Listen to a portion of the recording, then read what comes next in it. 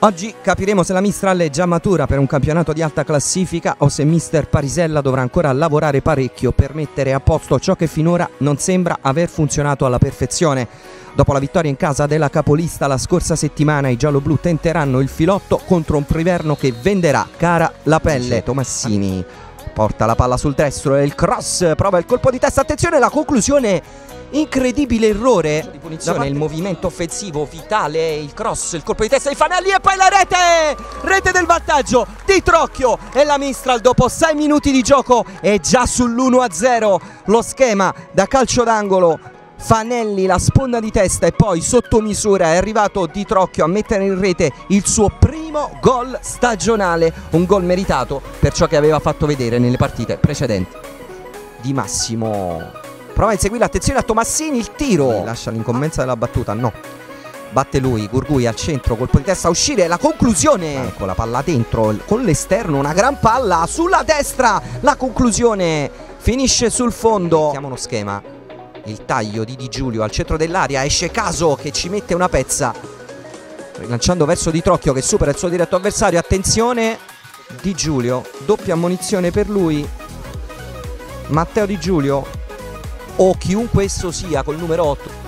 L'arbitro dice che basta così per quanto riguarda il primo tempo si chiude 1 a 0 per la Mistral per effetto della rete siglata al sesto minuto da Di Trocchio espulso nel finale il numero 8 del Priverno che noi non abbiamo in distinta ma che riconduciamo essere a Matteo Di Giulio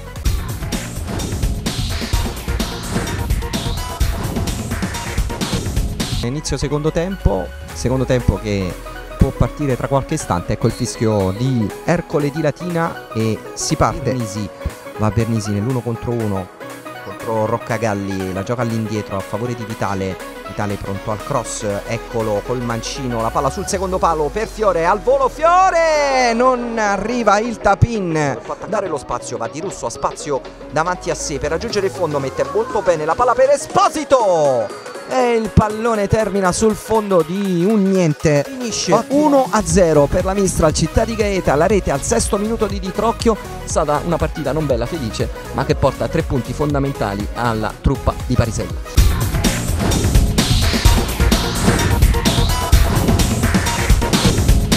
noi ci serve il risultato in questo momento, non possiamo pensare tanto alla giocata individuale o quantomeno eh, preparare una squadra per le giocate, quello ci vuole tempo, non abbiamo la bacchetta magica sto lavorando sulla testa dei ragazzi per farci capire che per diventare una squadra importante dobbiamo essere coraggiosi, dobbiamo lottare su tutti quanti i palloni e però nel momento in cui andiamo in vantaggio bisogna anche saper gestire la partita, quindi andare a segnare il 2-0 se ci riusciamo, ma neanche scoprirci come in qualche occasione ho visto che andavamo in questa difficoltà.